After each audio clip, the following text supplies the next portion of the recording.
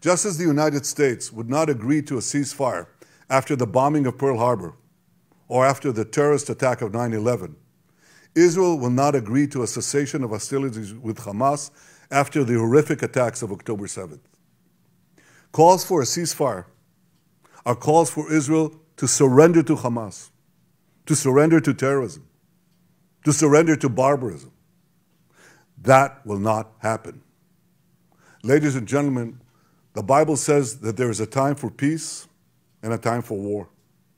This is a time for war.